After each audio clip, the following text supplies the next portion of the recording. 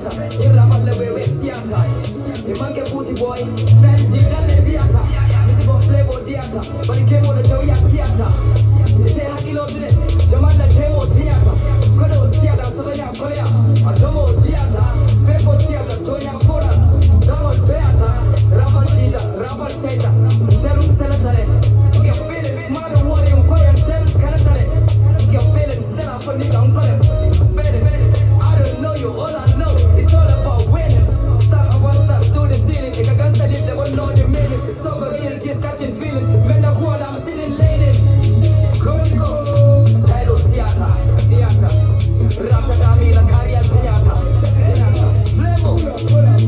Next one.